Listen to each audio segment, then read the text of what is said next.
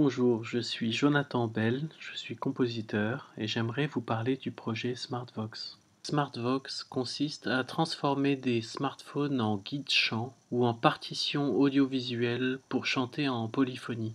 Chaque interprète suit donc sa partie sur son écran et entend ce qu'il doit chanter dans l'oreillette. Ce projet est né d'une longue collaboration avec l'ensemble Decaelis depuis 2007. La première version du dispositif envoyait à chaque interprète des informations audio par une oreillette pour les aider à chanter sur des échelles non tempérées, micro-intervalliques et ainsi réaliser des harmonies spectrales. Ce travail a été développé dans une thèse intitulée Audio Scores, a Resource for Composition and Computer Aided Performance. Par la suite, à l'IRCAM en 2015, en collaboration avec Benjamin Matusewski, un développeur web, nous avons mis au point SmartVox, une application web ou une web app capable d'envoyer à un grand nombre de chanteurs une partition audiovisuelle et de synchroniser l'ensemble comme une sorte de chef de chœur virtuel. Le terme de notation est ici important car SmartVox concerne essentiellement la notation de la musique vocale a cappella.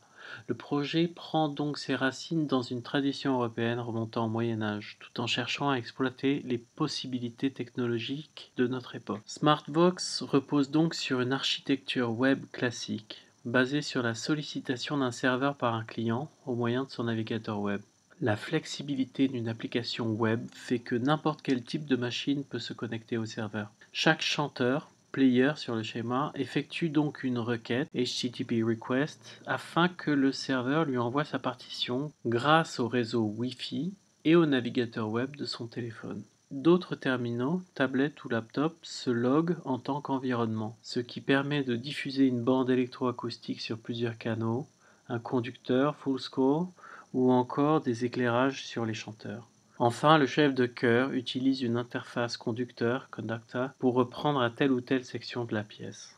Le principal changement par rapport à la notation musicale classique concerne l'écriture du temps. En effet, plutôt que des valeurs rythmiques, SmartVox utilise un curseur se déplaçant de droite à gauche, venant d'une librairie de composition assistée par ordinateur appelée BACH, B-A-C-H, Bach Automated Composers Helper.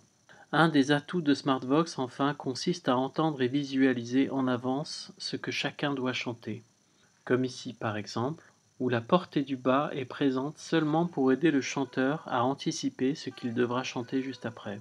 La finalité de tout ça concerne essentiellement la polyphonie a cappella avec ou sans électronique. L'outil informatique sert donc à composer et à interpréter des pièces qui puisent fortement leur inspiration dans des répertoires très anciens.